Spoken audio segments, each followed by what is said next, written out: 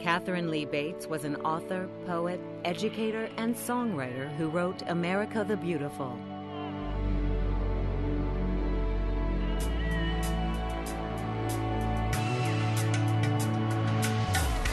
For information about the 31 lesbian, gay, bisexual, and transgender icons, visit LGBTHistoryMonth.com.